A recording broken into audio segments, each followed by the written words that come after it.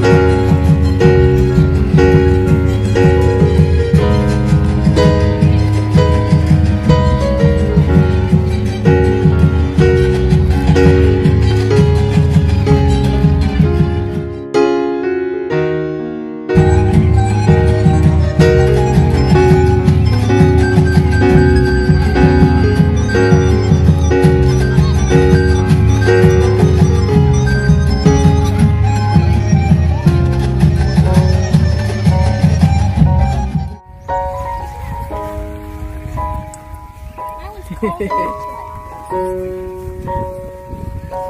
nga ni Kuka na buah.